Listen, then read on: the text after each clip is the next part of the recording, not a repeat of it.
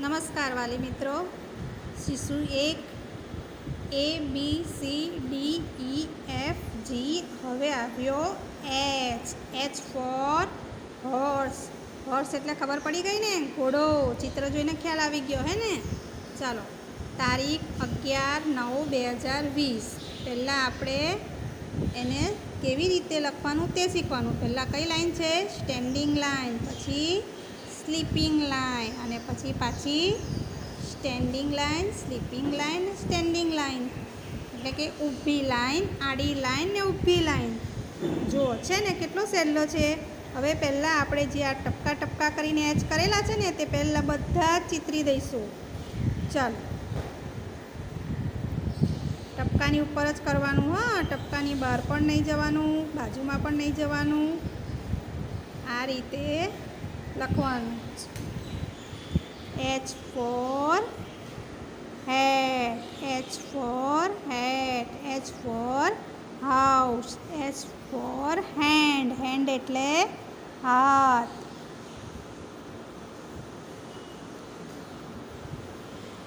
આ રીતે મોટો જ પાડવાનો, મોટા ખાનામાં મોટો જેટલો લખ્યો છે, બાજુમાં એટલો જ મોટો લખવાનો રહેશે.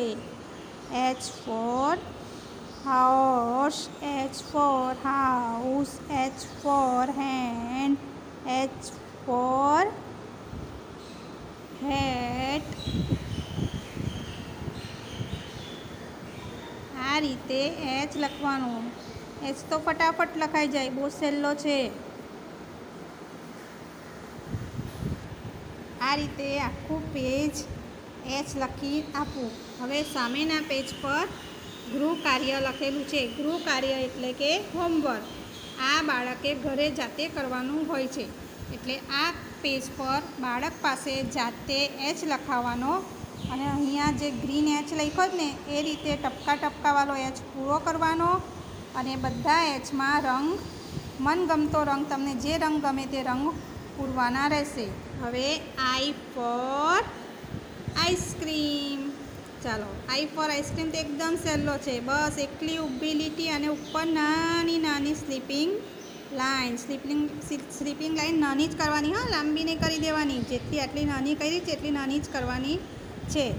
ચાલો, પહેલાં ટપકાવાલા આઈ પૂરા કરીએ.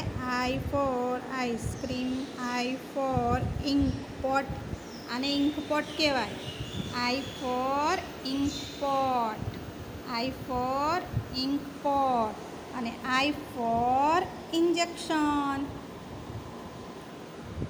I for ice cream, I for ice cream, I for ice cream, I for injection, I for ink pot I for ink pot I for injection, I for injection.